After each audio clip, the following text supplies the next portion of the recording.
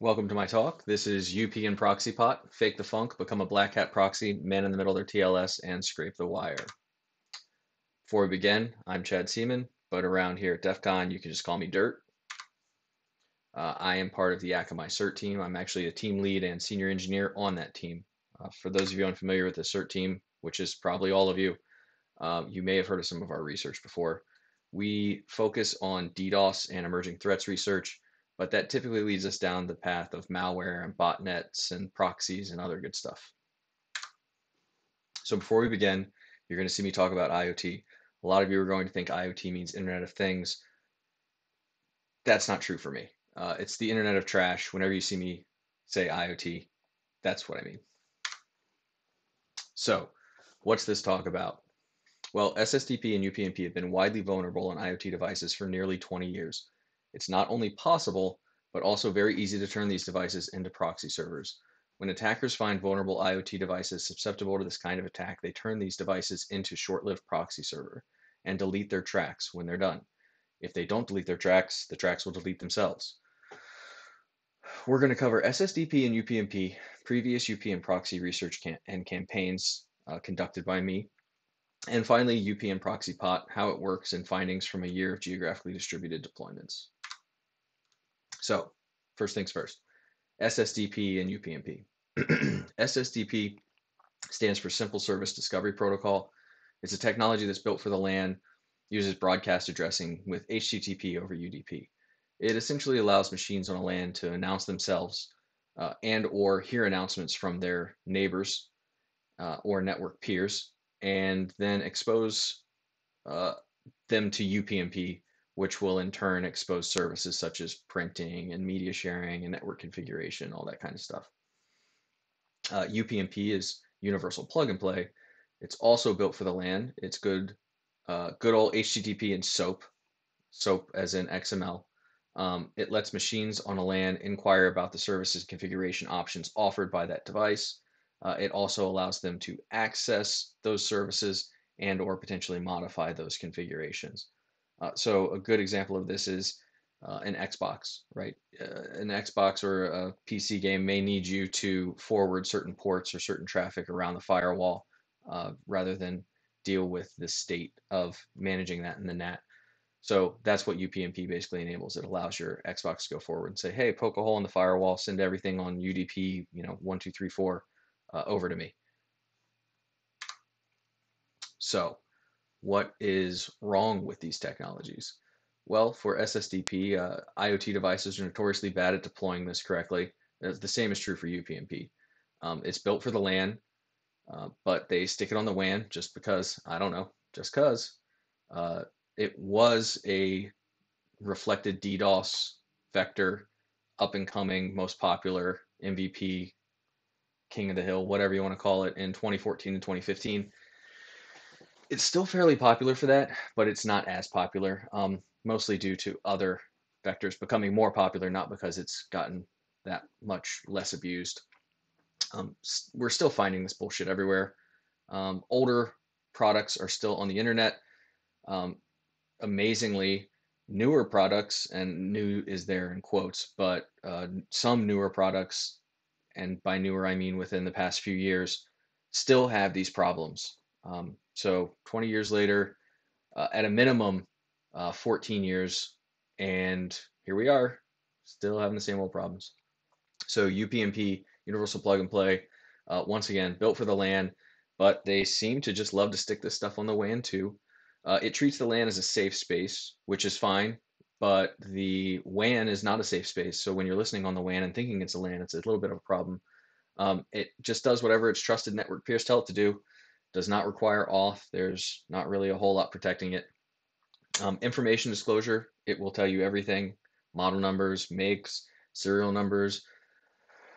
Uh, on top of that, it will tell you how to talk to it, what services it exposes, what configurations, what data uh, you can push in, and what data you can expect to get out. Um, it facilitates configuration changes on some devices. It makes it very easy to do those changes.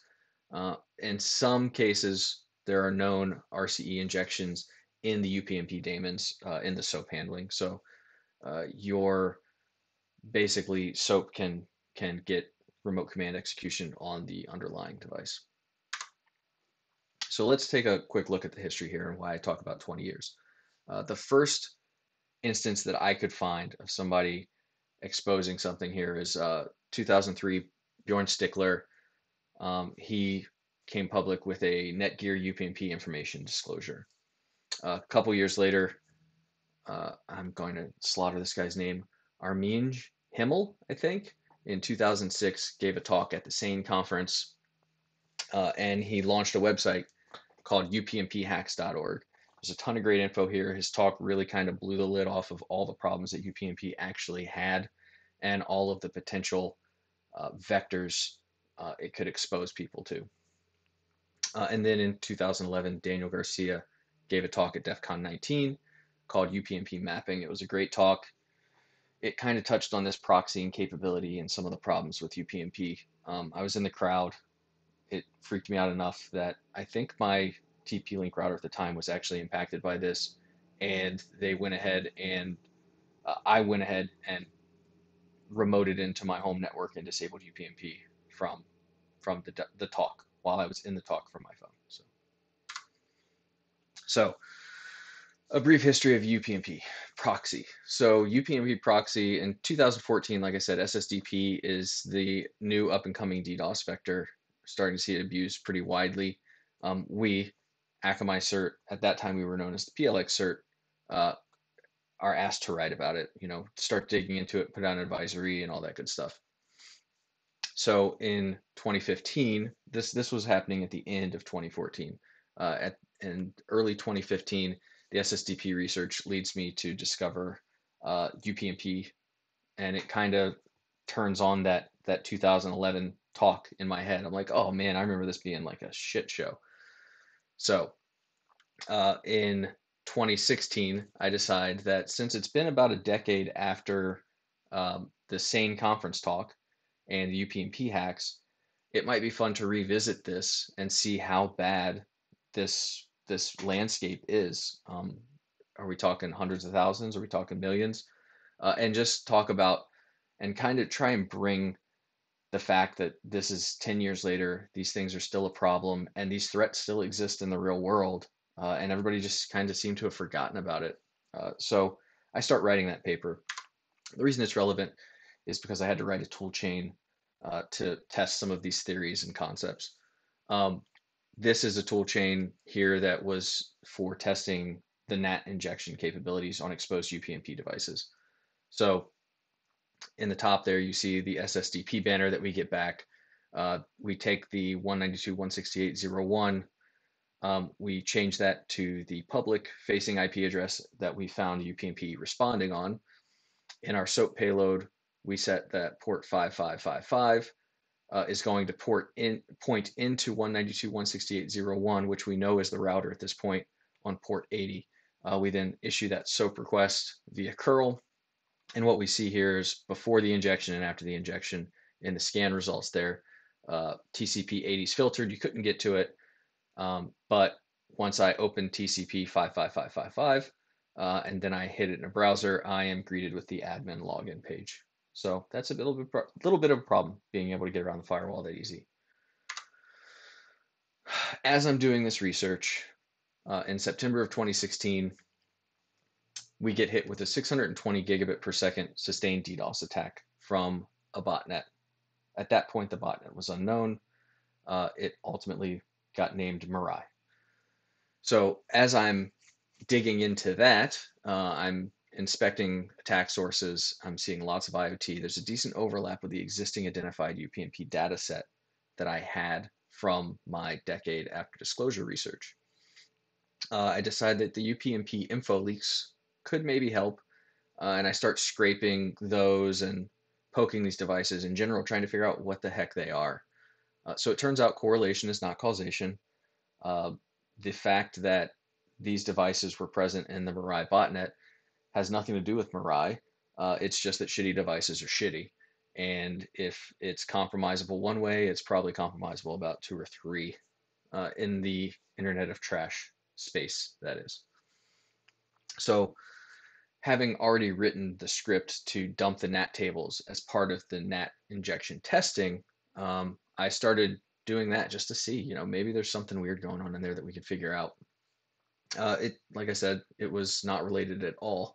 But what I did notice when I did that was there were some really weird entries in some of these devices out in the wild. Um, the entries pointing to DNS servers. They pointed to Akamai CDN servers. They'd been pointing at HTTP and HTTPS web servers, which is really interesting, but I have other shit to do. Got a really big botnet. I got to figure out what the hell's going on. So I kind of just stick that in the mental back burner and move on. So on the timeline here, we're down here at the Mirai botnet and huge DDoS.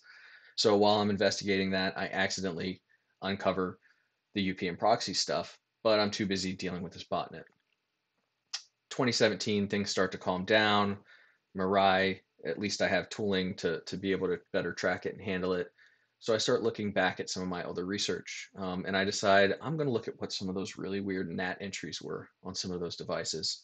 And I begin scanning the entire internet and dumping all of the NAT tables of all of these exposed UPnP daemons.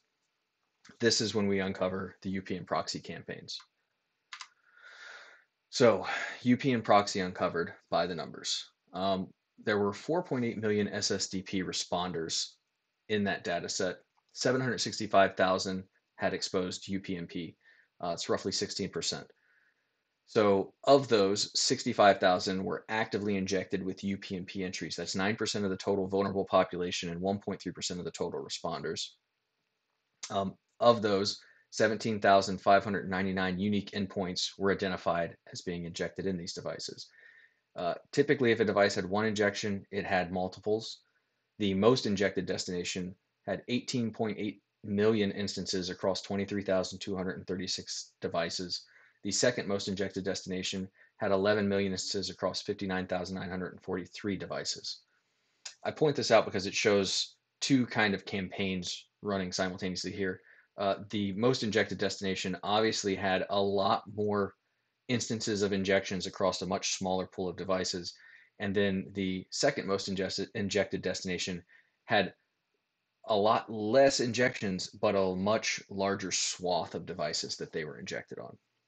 All in all, there were 15.9 million injections to DNS servers, 9.5 million injections to web servers, uh, and 155,000 injections to HTTPS servers. While I'm doing this research, I'm talking to some fellow researchers and friends, and one of the guys goes, Hey, I think my friend's working on something very similar. Uh, would you be interested in talking to them? And absolutely, I was. I'm very sorry to the researcher I talked to. I don't remember your name and I can't find the email. And Symantec did not give you a shout out on their blog.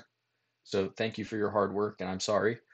Um, what they ultimately found was that there was an APT group and they were running this inception framework uh, where the attackers were basically using these uh, UPN proxy instances and they were chaining them together. So they would log into their VPS, they would inject a proxy route that pointed to another UPN proxy vulnerable device, they would then use that injection to inject another route, then use that injection to inject another route that ultimately pointed out to their target destination, which was a cloud storage provider uh, for uploading their malware. And then they would use that to upload their malware to the cloud platform. Uh, and this is partly to get around um, detection, right? A lot of a lot of times you'll have these lists of known proxies, known endpoints, Tor, etc. And when you've got a pool of you know tens of thousands of home devices that aren't on any of those lists, you're much less likely to set off some alarm bells when you log in and upload a nasty file. So really interesting research. Um, I gave him my tools. He was able to confirm it was what we thought it was. And then I was able to confirm in my data that I could see some of the, the similar clustering so what you're seeing here in the graph on the right is two different bubble graphs. Um, the size of the circle is respective to the number of outbound routes found on that device. And then every blue line is pointing in the direction of a relationship. There's an arrow, so where you see the thick blue on one side, that is the tips of the arrows running into one another. And there's there's clearly two different strategies. The top cluster, you have a larger pool with a handful of routes that go out and they all point into a smaller pool of devices that may only route to one or two or three things. Uh, and in the bottom cluster, you see a centralized high route out uh, collection, and then um, they all point out to different endpoints. Uh, so it's it's just a different structure, a different strategy of building that chaining, but the chaining exists, and I thought that was pretty cool. So we find all this stuff, uh, but it's not super widespread. I'm just kidding; it's everywhere. Um, so there's 73 brands and over 400 models that we could identify, and it's important there that I say we could identify because we were only able to successfully fingerprint with confidence about 24% of these based on information leaks. And those information leaks weren't just uh, what came from the UPnP daemon. Sure, it helped a ton because it's a super chatty, uh, it exposes quite a bit of information about the device, like I said. Uh, but we would also go so far as to attempt to see what other ports were there, SSH banners, um, anything like that that we could potentially fingerprint on. We tried, and still we could only get about 24%. So that is quite a quite a considerable amount. 73 brands and 400 models is, is a nice chunk, but you got to remember that there's 76% that we couldn't even identify. So who knows what they are. This public, uh, this this publication goes live, and you know the crowd goes mild. Nobody really cared. It didn't really get a lot of attention. I was was pretty disappointed. I, I thought it was a very cool finding, but and I'm downplaying that a little bit. So a couple people cared. Um, the people that needed to care cared. So I'll take that as a win. Uh, the research did get some industry attention um, through some some trust groups and work groups and stuff. Uh, it did get elevated and passed along, and it was ultimately used to help some ISPs support the case internally for uh, cleanup and and you know sanitation efforts. So progress is made behind the scenes. Uh, some networks start filtering SSDP. That's all good. Um, you'll you'll see that the result of that in the next couple slides. Ultimately, I get an email from a journalist. Uh, she's doing some work, and she was recording this new show. Uh, her name's Justine Underhill, and she wanted to talk to me about UPN proxy because the episode she was recording was on IoT and security and everything else. So while we're recording this uh, video, uh, I decide that you know she's asking questions about how hard is this, how long does it take, how much does it cost, and I'm like, well, I'll just I'll just show you. So I pull out the laptop, jump on uh, the internet, run Zmap, and I hit the first 1,000 things that respond to my SSDP probe, and then I start dumping their NAT tables. And while I'm sitting there showing her this, I'm like, man, I think we just found something new. Like this, this wasn't in the previous scans, and this is how I accidentally discovered the eternal silence stuff, which it was cool because we we didn't really have a solid case. I had proposed that attackers could use this to route around the firewall, but we didn't really have a solid proof from our existing scans that that was occurring yet. So these are what the injections look like after they go through our logging process and are converted into JSON. Um, you can see that they are targeting IPs inside the LAN, 192.168.10 space, probably from the information leak from the SSDP banner. Uh, and then, so like there on 166, you can see that they tried to open a port forward to 139 and port 445. So they're injecting routes into the LAN space uh, and they are targeting Samba or SMB. Um, we named it Eternal Silence because Samba and SMB are clearly being targeted by Eternal Blue pretty heavily at that point. Uh, and the Spanish there, there's in the new port mapping description, there's some Spanish, and I am terrible at Spanish. So my gringo Spanish is galleta silenciosa, which go ahead and laugh at me uh, but it roughly translates to silent cookie.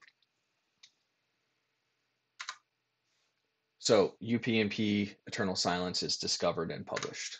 Um, ultimately, 3.5 million SSDP responders. So some of that cleanup effort worked. We found almost a million less devices than we did in our previous research. Uh, 227,000 instances of exposed UPnP, 45,000 had active eternal silence injections. There's no way to really know what they were up to, uh, but based on what they were targeting, the eternal blue link is an educated guess. Um, and that educated guess is based on if I were evil, that's what I would do, right? Uh, I've got this surefire uh, SMB exploit, but everything that's running it on the internet has already been popped. But you know what? if I can find a way around some of these firewalls, I can probably find some devices that are still listening on that that haven't been patched. And now I've got a new place to drop my ransomware.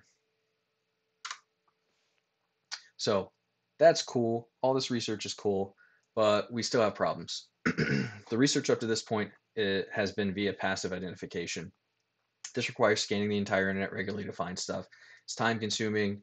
We get lots of hate mail and threats for scanning stuff. People don't like when you scan the internet guys, relax, relax. You're allowed to scan the internet. It's not a crime. Okay.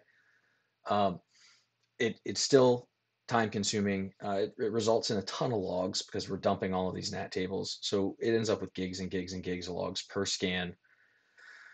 On top of that, it's very time sensitive, right? We know that the attackers can delete their entries. We know that the entries time out. Um, so the odds that we're finding anything at all is pretty surprising uh, especially when you consider that that uh, that reality.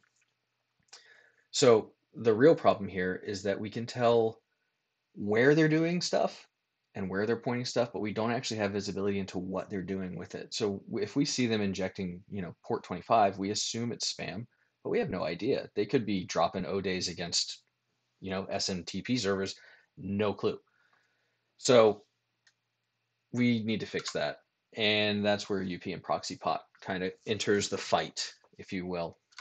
So what is UPN proxy pot? Uh, the 50,000 foot view. Uh, it, it, listens for SSDP probes and it directs attackers into a fake UPnP instance. The UPnP emulation is good enough to get to the injection phase. It's not a full implementation. It could be improved, uh, but it's good enough.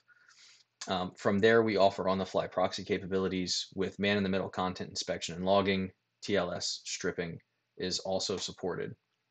Uh, all of this is easy to modify uh, in the sense that if you want to pretend to be a different device, all you have to do is change some XML files and uh, some text files on disk.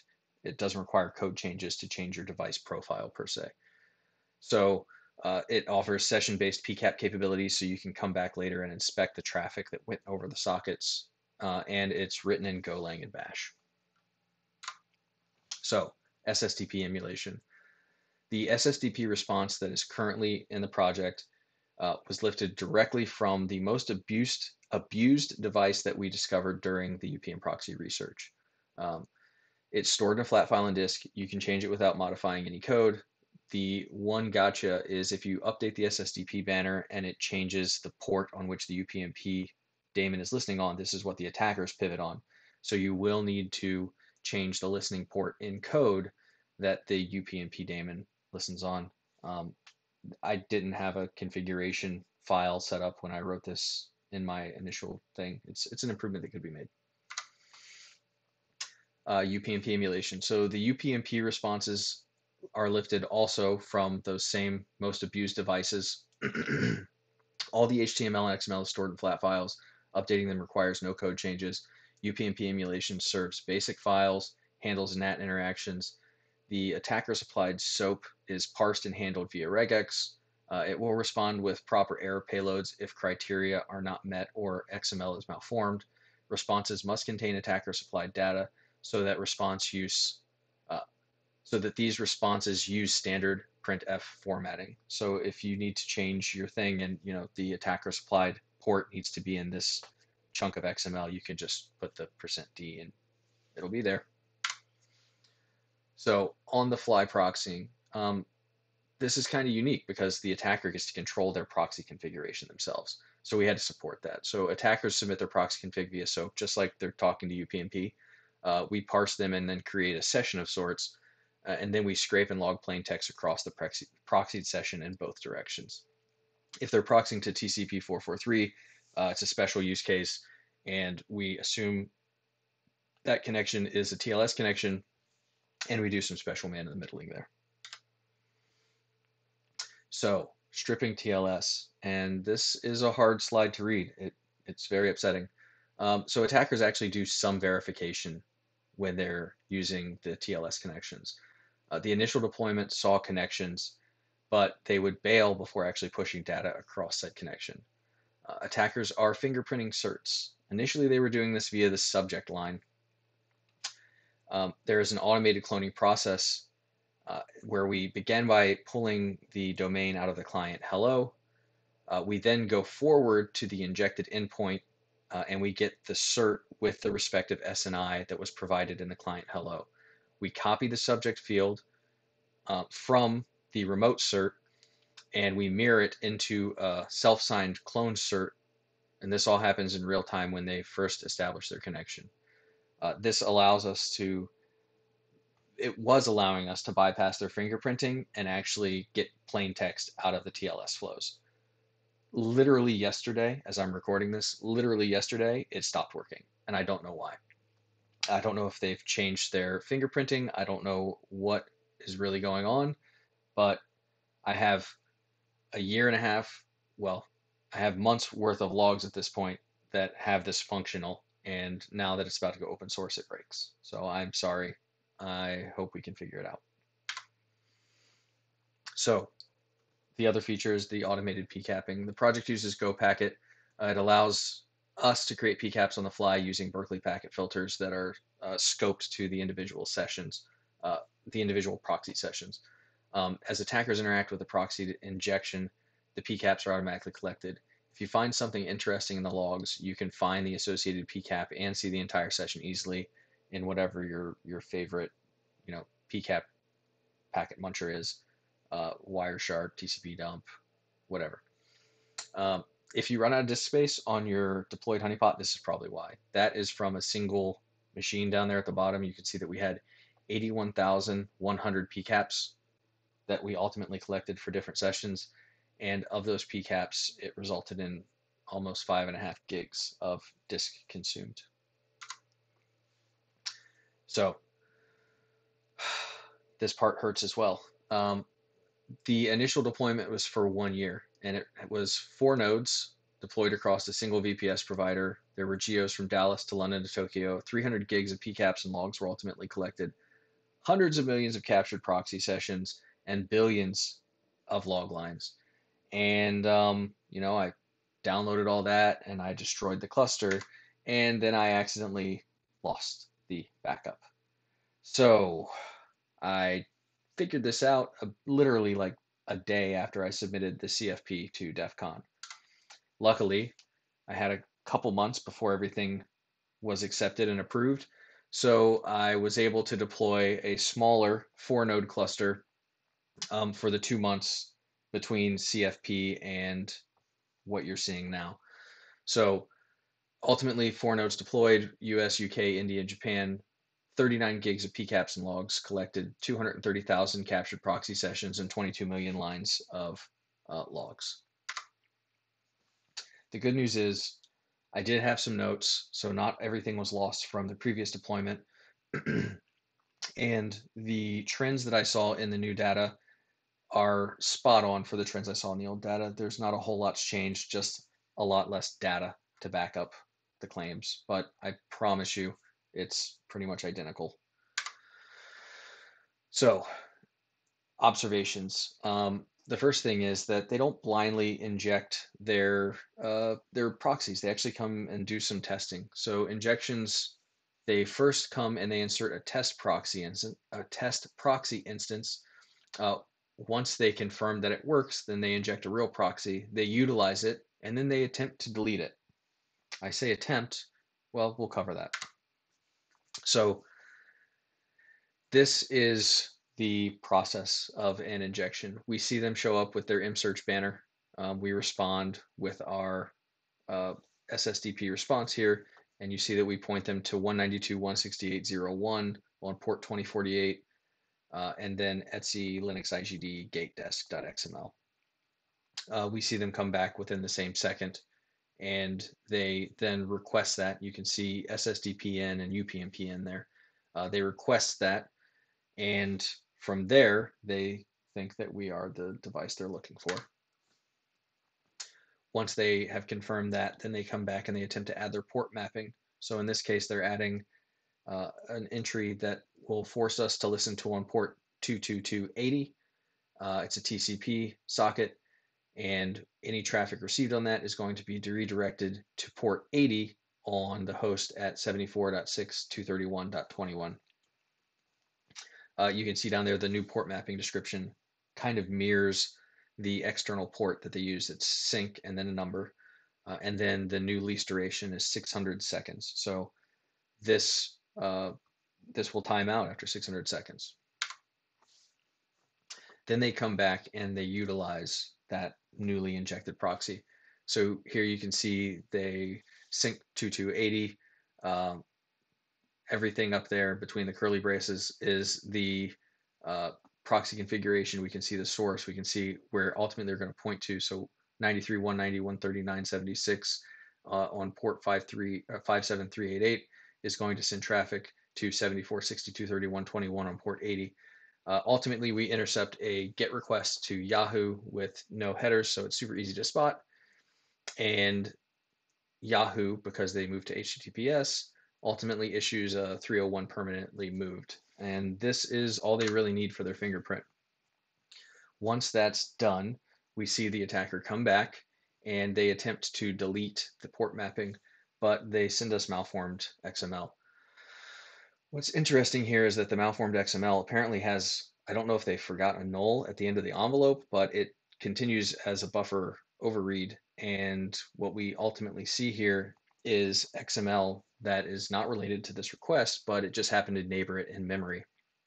Um, what's interesting here, in this case, it's the same injection they just sent us, which isn't, isn't that interesting. What's more interesting, and there are other instances where there is XML information leakage from the buffer overread from other devices that they may have been talking to recently. So in this case, uh, at some point they were talking to a D-Link DSL 2730U. Uh, if you check that out, you can see that it is a popular item on a popular e-commerce website. It's actually a choice item on that e-commerce website, and it has 3,100 ratings. So for 1,329 rupees, you can buy this device, and uh, that's about $19 US, I believe. And you can inadvertently be a black hat proxy too. So these are some of the top talkers, or sorry, some of the top injected test endpoints. You can see there's Akamai, Yahoo, a few others in there.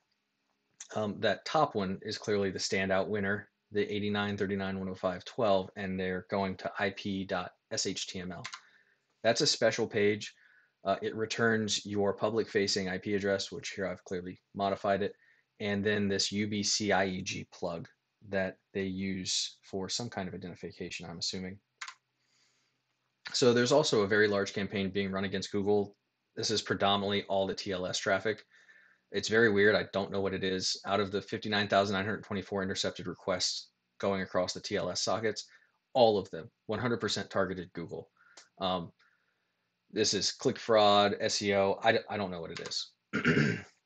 this is uh, an example of a caught request. So they're searching for a Cisco Spark board factory reset. We can see their accept language. We can see their cookies, the user agent they used, all that good stuff. Um, we can see even they seem to be coming from Dallas based on the information leakage in the URL, but I can't really confirm that. Uh, also here we see the response. So we get a 200 OK for their search. We see the cookies. Um, we would, it's not here, but we would actually have the full page content and everything. Um, it's disabled in this case because that was a lot of log lines. I mean, gigs and gigs and gigs of Google pages. So in in total, they sent 57,237 search terms. There are no really clear patterns. They're from all different geos that they target. They use a ton of different user agents, um, and each request gets basically one search per session. So uh, you can see that top result there has only shown up 55 times out of 57,000 requests, uh, and it's just a search for the word Samsung in quotes, which is weird some of the funnier searches that were captured 72 hour deodorant, antivirus download now, uh, Marlboro summer camp, leather trousers outfit, fa fa fa fa slot hack. I don't even know what that is. I should probably Google some of these to see, uh, but I haven't yet. And like I said, they're they're very geographically distributing their stuff across the Google uh, platform. Uh, there are domains in here that I don't even know what country they're affiliated with. So, did you know there's a .bj, .as, .jm, .md, .ee? You know, so they they're clearly tar- targeting you know um, Google.com the most, followed by co.uk. But still, I there's so many that they're hitting. It's crazy. This is the user agent profiles. So they sent 293 different user agents. Um, and then you can see there's almost normalized clusters of user agent distribution across the, the abuse. And these are some of the top talkers. So it's it's not what you'd expect, right? Um, you would, well, I guess, I mean, I guess kind of it is what you'd expect if it's a single abuser, but the the nature of the queries almost make it seem organic. It doesn't seem like it has an abuse pattern. It almost seems like real end users, but then it's not real end users showing up and popping holes in this stuff. They're all being ferried through a handful of top talkers, and then you have your outliers. Um, if we look at the top 10, we see that um, WorldStream, WorldStream, WorldStream, WorldStream, OVH, WorldStream, OVH, WorldStream, OVH, and Avast. So let me just put it this way. If you work at WorldStream, find me at the bar. If you work at OVH, find me at the bar. If you work at Avast, find me at the bar and I'll buy your drink if you tell me what the hell's going on there. Because I don't know why Avast would be showing up in this data set, but there they are. So some theories on this. The queries to me seem too oddly human. They're in a bunch of different languages. They're stuff like, you know, the best car insurance in Dallas Fort Worth area. Uh, okay. Um, it, so it's too organic to be just purely automated abuse, in my opinion. Um, and I'm I'm not sure that the people that are using these proxies are aware that they're using them. I have this theory that it may be some kind of residential proxy reseller or some kind of uh, you know ultimate anonymous VPN service provider or something. And these these people think that they're getting like these super secret you know high privacy stuff. And I'm just sitting here in the middle reading their traffic which is a problem. So those are my theories I'd love to hear more theories um, you'll also intercept some other stuff um, outside of TLS here, for example, are some spam messages that were being routed. These guys were injecting Outlook servers, and then you know you can watch the entire interaction. You can watch as they send their their hello. Uh, you can see as they confirm different addresses or deliverable, and then they build their message and shoot it across. You get to see all of that. The good news here is that Spamhaus is doing God's work and stopping a lot of that abuse from actually succeeding. Um, this was just a fun finding from the uh, older data set. So while this project was going on, uh, Belarus had a very uh, tumultuous uh, political event where a bunch of people went out and protested the recent election. And as a result, Belarus shut down uh, their internet to news and political websites. And while that's going on, suddenly I started seeing these guys popping up in UPnProxy. So the top site was sb.by, which is a news website, and it looks like they were trying to get to the registration and then solve some captchas. Um, the other was photobelta.by, which is a stock imaging host, I think, or something. Uh, but they were actually doing command, or not command injection, SQL injections, which I found pretty funny. And then the third one here is mail.rec.gov.by. Um, according to Google Translate, this is the Central Commission of the Republic of Belarus elections or something along those lines. And they were just trying to check their mail, it looks like. And then on the bottom one here, we've got a news outlet, uh, ont.by, and they're trying to get to what appears to be their exchange server. So I just found that kind of interesting. All right, so that's a lot of history, a lot of observations, but now comes the cool part. Uh, I'm open sourcing all of this. Uh, so anybody that wants to take this, stick it on the internet, play with it, modify it, whatever you want to do, have at it. It's yours. Um, and this way we can all kind of share the fun and, and see what's going on with these campaigns. And if you find really cool stuff, I'd love to hear about it. So with that open source announcement, announcement, let's get some stuff out of the way. First things first, this project was for fun, it's for research, um, and it was for me to practice my Golang during COVID. Um, second, I apologize for my shitty code. I know it's shitty. I've learned more Golang since then and learned more design patterns in Golang since then, and I really understand how shitty my code is. I'm sorry. Uh, it, like I said, it was a research project. It's not commercial grade software. Um, it served its purpose and it did well enough to serve that purpose, and that's all I really needed out of it. Yes, there are bugs. Thank you for noticing. If you open an issue, there's a great chance I'm not going to address it. Maybe someone else in the community will, but this is not my top priority anymore. Um, so I would encourage you to learn some Golang and maybe submit a pull request instead uh, if you'd like to fix that bug. Um, yes, it's hacky. I know. I am a hacky developer. I'm not your enterprise leading, Scrum running, everything else developer. So uh, it is what it is. Uh, if you have ideas to fix or improve stuff, it's open source. Have at it, boss. Fork away, send pull requests, whatever. I'm I'll likely accept a pull request. Um, I will likely ignore your issue uh, that you submit to the GitHub repository. So, um, some ideas for improvements if you want to hit the ground running. Logging could be improved. Content injection could be a thing. Uh, in a, a, world where people are abusing this stuff, I imagine that you could stick JavaScript in pages, or you could tamper with cookies, or you could inject plugs of text that might be indexable that you could maybe turn up on a search engine later. I don't know. These are just some ideas I've had. Uh, there is a memory leak. I know. Um, the run script actually restarts the binary every restarts the binary every hour to get around this because I haven't had time to actually troubleshoot it. Um, yes, it runs in screen. I regret nothing. Uh, feel free to properly daemonize it if you'd like. Um, this I think would be the biggest benefit if you randomize the SSDP banners and listen on multiple popular exposed UPnP ports. I have a feeling you're going to see a much more diverse set of attackers show up. Uh, my findings may be myopic because I'm pretending to be a single device, and that single device is what's being targeted by these people. If you were to diversify the, the target that you paint for your attacker, it's possible you will also diversify your findings some additional ideas for improvement. Uh, the cert caching. Uh, when I wrote this, the cert caching was not taking in SNI differences. So uh, it works on Google because all Google servers are just Google.